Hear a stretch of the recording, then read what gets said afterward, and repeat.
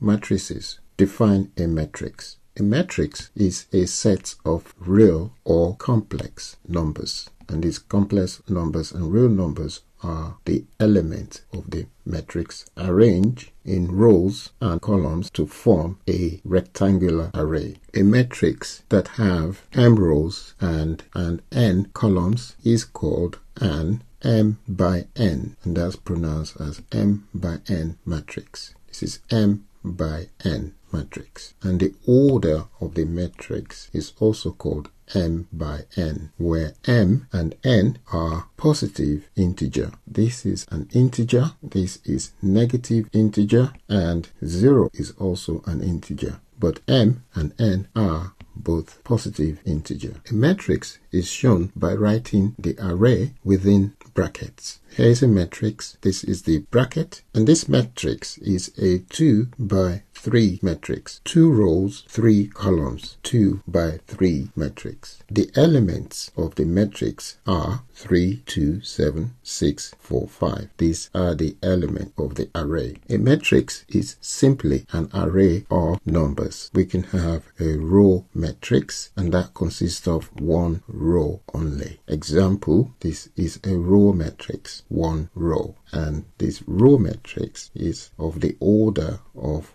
one row by four columns. One by four. One row by four columns. Column matrix consists of one column only. Example, this is a column matrix of the order 3 rows by 1, 3 row by 1, 3 by 1 matrix. Sometimes to conserve space we can write a column matrix with a curly brackets and here is a curly bracket 3 6, 8 in a curly bracket. That's the order of three rows, one column, three by one. Same matrix, column matrix, column matrix, using brackets or curly brackets. Here's an example. Pause and answer the question. What is the order of this matrix? The order is 3 by 2. 3 rows, 2 columns. What is the order of this matrix? The order is 2 by 4. 2 rows, 4 columns. Question number three. Pause and answer this question by filling in the blanks.